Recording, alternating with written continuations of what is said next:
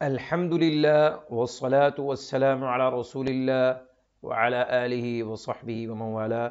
السلام علیکم ورحمۃ اللہ وبرکاتہ تجوید کلاس کے اندر آج ہم راق کے قاعدوں کو پڑھیں گے. کلاس کچھ لمبی نہ ہو جائے، اس وجہ سے ہم کلاس کو دو حصوں میں تقسیم کریں گے.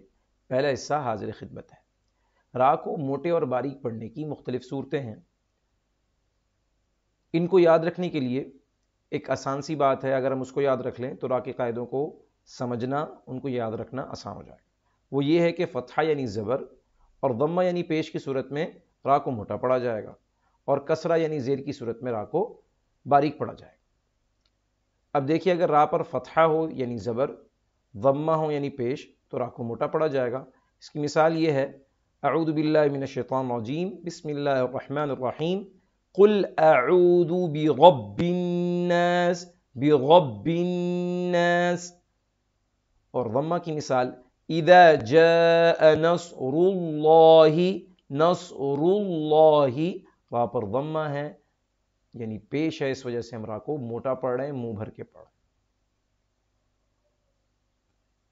لیکن اگر را پہ کسرا ہو تو را کو باریک پڑھا جائے گا۔ جیسے، الذي يوسوس في صدور الناس في صدور الناس۔ را کو باریک پڑھ رہے منہ بھر کے نہیں پڑھ رہے۔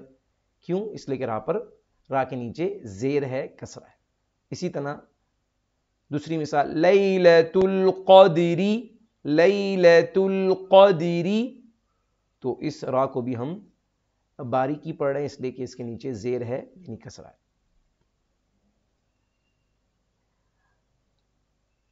لیکن اگر را پر سکون ہو تو سکون کی صورت میں ہم را سے پہلے والے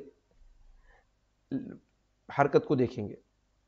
اگر پہلے والے حرف پر اگر فتحہ ہو یعنی زبر یا ضمہ ہو یعنی پیش، تو را کو موٹا پڑا جائے گا۔ جیسے وَأَرْسَلَ عَلَيْهِمْ طَيْرًا أَبَابِيل۔ وَأَرْسَلَ وَأَرْسَلَ۔ را پر سکون ہے۔ اس سے پہلے والا حرف جو ہے وہ حمزہ ہے، جس کے اوپر فتحہ ہے۔ اس وجہ سے ہم را کو موٹا پڑھ آئیے ذرا ضمے کی مثال کو دیکھتے ہیں۔ یہاں پر را پر سکون ہے، اس سے پہلے زا ہے، زا کے اوپر پیش ہے۔ اس وجہ سے اس را کو بھی موٹا پڑا جائے گا۔ زرتم المقابر زرتم المقابر۔